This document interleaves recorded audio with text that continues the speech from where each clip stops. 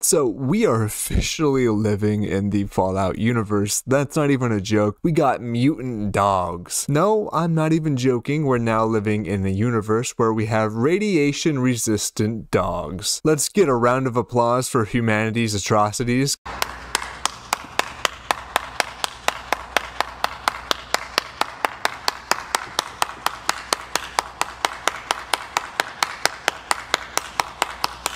If you're not aware, in 1986, the Chernobyl nuclear disaster released massive amounts of radiation into the environment, leading to a complete evacuation of the surrounding areas. What happened to the animals left behind? Well, shockingly, we now know specifically for dogs what has been going on. Researchers have estimated that there are around 300 dogs living in the exclusion zone. These dogs have formed their own communities and have adapted to the harsh environments filled with radiation and pollution. A recent study led by scientists from Columbia University have revealed some astonishing findings about these dogs. They analyzed blood samples from over 400 stray dogs and discovered nearly 400 genetic mutations. Mutations that appear to have helped them cope with their near toxic surroundings. These mutations suggest that these dogs have developed a level of immunity to radiation and heavy metals. And it's not just dogs. Other wildlife in the area, like wolves and even frogs, are showing similar adaptations. Also, I don't know what's wrong with me because I, I see these dogs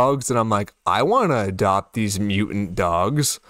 I don't care. Maybe it'll bite me and I get some superpowers. It just it doesn't need to be living there anymore. Like it's leveled up, right? You could stop with the RPG level grinding, man. You're already max level. God, the power scaling on dogs these days is just getting ridiculous. I'll also have the study link down below for you little dorks if you want to read all the little details like I did. um, but yeah, I just wanted to talk about this in a broad sense because it is very it's very Fallout like, like I said. Um, but at the same time, it's like, yeah, nature is way stronger than our, our biggest faults.